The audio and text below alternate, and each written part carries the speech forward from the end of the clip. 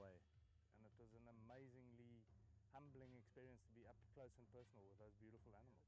For forest elephants throughout the continent is that more than 80% of their... Where those